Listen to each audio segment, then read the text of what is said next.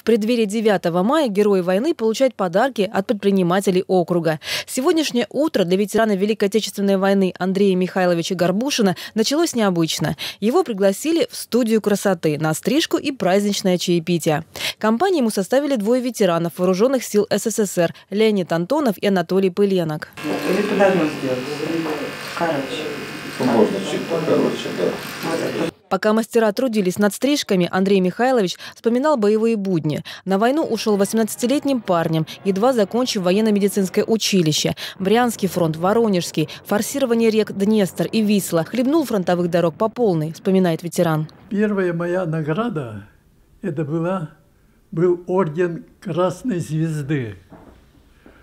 Я получил эту награду за форсирование Днестра – за то, что мы там удержали плацдарм. Ну, войска остались там э, частично, а нас самые, готовили к штурму Ясо-Кишиневской группировки. Мы стояли под крепостью Бандеры. Там у нас могилка есть наших товарищей, которые погибли.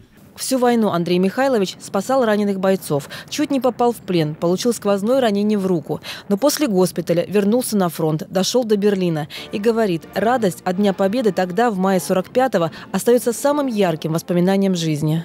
Мы должны уже 2 мая вступить в бой непосредственно уже в это. И в это время значит, э, объявляет, что Германия капитулировала. Боже ты мой, какая радость! Друзья обнимаются туда-сюда. Что вы? Это же победа, победа, победа, победа.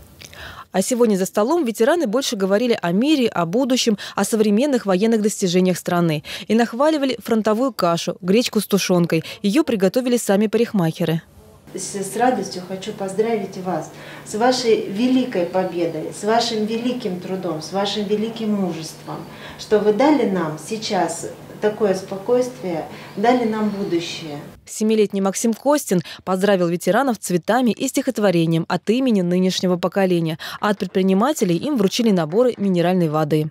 Ирина Веременко, Алексей Козеров, Служба новостей.